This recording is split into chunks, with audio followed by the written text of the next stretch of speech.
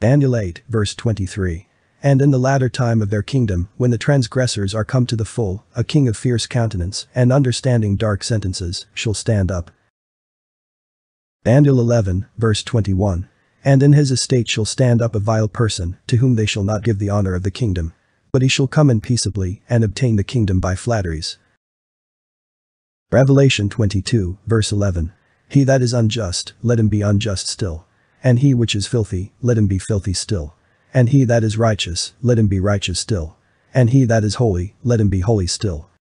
On May 9, 2023, Insider published an online article called The 26 Women Who Have Accused Trump of Sexual Misconduct. According to Insider, these sexual allegations directed at Trump by many of these women go all the way back to the 1970s. Recently, a Manhattan jury found Trump liable for the sexual abuse of columnist E. Jean Carroll. I'm not going to name all 26 women who have accused Donald Trump of sexual misconduct, however, I find it interesting that Ivana Marie Trump, Donald Trump's first wife, is on that list. Ivana Marie passed away recently. I also want to note that Donald Trump has been married three times and divorced twice. And there has been a lot of media coverage in the past concerning Donald Trump's many alleged affairs. Donald Trump's first wife was Ivana, his second wife was Marla Maples, and his third wife is currently Melania. When confronted about these sexual allegations, Insider states that Donald Trump claims he's never met most of these women, or if he has met them before, they are just after him for his money. Donald Trump keeps insisting that these sexual allegations directed at him are simply false.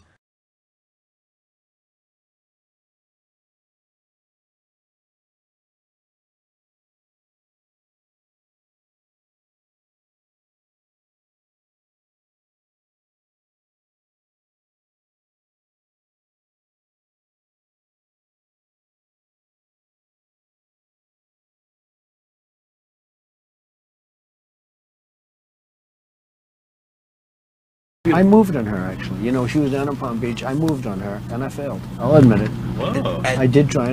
She was married. It's huge news there. No, no, Nancy. Yeah. No, this was marriages, and I moved on her very heavily. In fact, I took her out furniture shopping.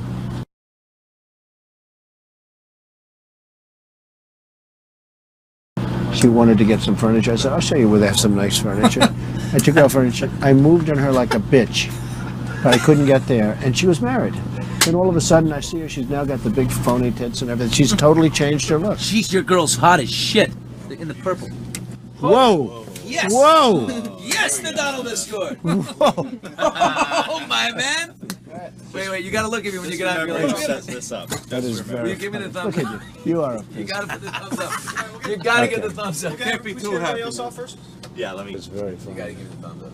Uh, you and I will walk out. So you have it open, get the cabinet opening? Oh my god. Close it here? Oh, yeah. So I have it closed and then, yeah. Maybe it's a different one. Better not be the publicist. No, it's it's her. It's Yeah, that's it, with the gold. I better use some Tic Tacs just in case I start kissing her.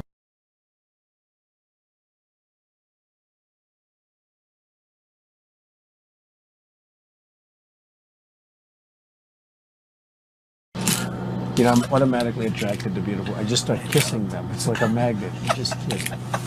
I don't even wait. And when you're a star, they let you do it. You can do anything. whatever you want. Grab them by the pussy. I can do anything.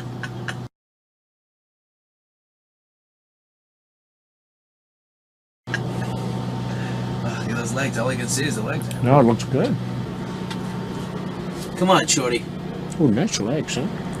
Oof, get out of the way, honey. Oh, That's good legs. Go ahead. It's always good if you don't fall out of the bus. Like Ford, Gerald Ford, remember? There's down below. Pull the hand.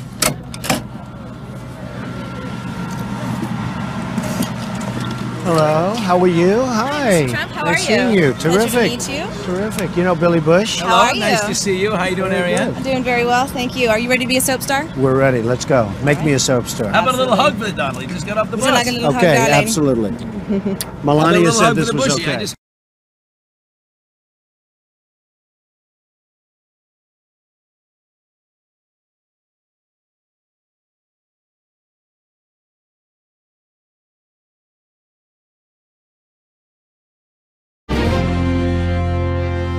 Donald, do you ever discuss sex with your daughter? No. You do not? No. You've never sat And I have a feeling we're not going to hear. yeah, no. Another embarrassing video from a 2006 Howard Stern show has surfaced. It shows Trump alongside daughter Ivanka and son Don Jr. joking about being a sexual predator. You you know about sexual predators and things like that. I mean, uh, You cer- are one. All right, that, I was going to say that, but uh, it's true.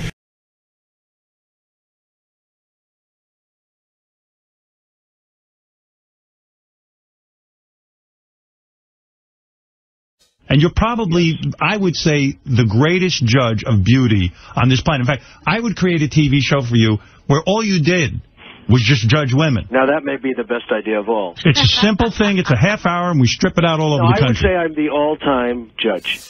You own this pageant. You go over. You look. You're meeting the girls. This and that. One of them comes up to you and says, "Mr. Trump, you're a very sexy man. You're a beautiful man. You have fantastic hair. Well, you're a powerful man, right? Right. You're Right. a powerful man. Right. I want to sleep with you. Now, you're not the type that would say no. I, I don't want to hurt their feelings. Right. No. But I mean, you see a beautiful woman. You want to. You want to have that. You're, Well, you're well, a you guy who likes to have everything, right? Well, couldn't that be construed, however, as um, Conflict. yes? I don't. I don't see it as a conflict. It could be a conflict of interest, but you know, it's the kind of thing you worry about later. Oh, I see. You tend to think about the conflict a little bit later The on. question is, how can it not be construed? No, I mean, I mean, some of these foreign girls, you know, Mr. Trump, in my country, we say hello with vagina. And Well, then you could also say, as the owner of the pageant, it's your obligation to do that. So, so you have done that. Now, tell Well, me I'll tell you the funniest is that I'll go backstage before a show. Yes. And everyone's getting dressed and ready and everything else. And, you know, no men are anywhere. And I'm allowed to go in because I'm the owner of the pageant and therefore I'm inspecting it. You know, I'm inspecting. I want to make sure that like everything is good. You're- you're there. Yeah, the dress. Is everyone okay? You know, they're standing there with no clothes. Is everybody okay? And you see these incredible looking women. And so I sort of get away with things like that.